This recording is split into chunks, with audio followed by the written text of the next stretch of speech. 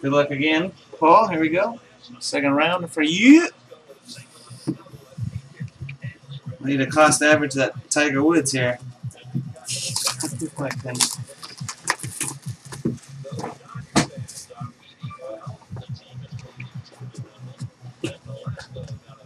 Alright, the little prism card is Denard Robinson, University of Michigan. Prism, Denard Robinson. Alright, I just want to see which part is the top which part is the bottom. That's the bottom again. There you go.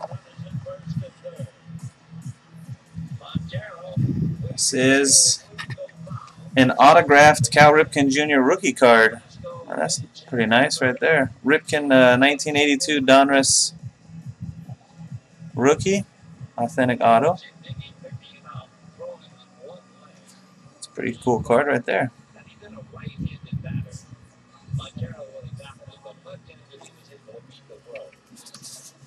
There's no grade on the card, they just have the authenticated. But that's pretty nice, man. Rookie on card, obviously. Not like a sticker.